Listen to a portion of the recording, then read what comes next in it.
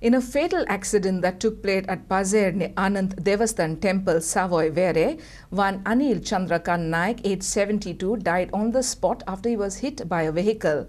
The driver had parked the vehicle loaded with vegetables near a horticulture store at around 5.30 am and alighted.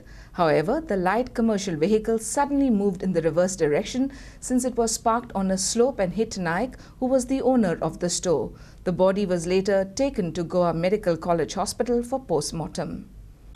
आयज साडेपांच वरांचेर वेरे हांगासर horticulture गाडी आपटोन अनिल चंद्रकांत नायक आमकां सोडून गेल्ले आसा. तेजो हॉर्टिकल्चरचो गाडो आसा. दर फावट ती गाडी भाजी घेवन तेज्या गाड्या कडेन येताली पण आयज दुर्दैवान ती गाडी वयर पार्क करून थेयल्ले का आसली.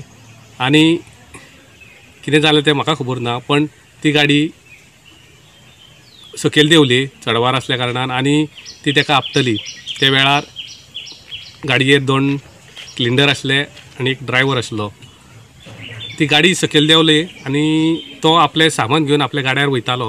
तेन्ना ती गाडी ताका आपटली आनी तो दोन गाडी आनी एक थंय पूल आसा त्या खांब्याक प्रेस जालो आनी तेजो ऑन द स्पॉट थंय तो एक्सपायर जालो आयज सकाळी फुडें ते भाजी काडटाले ती भाजी घेवन दवरूंक ते आपल्या घरा वयताले अचानक गाडी न्यू गाडी न्यूट्रल जाली आनी देवली.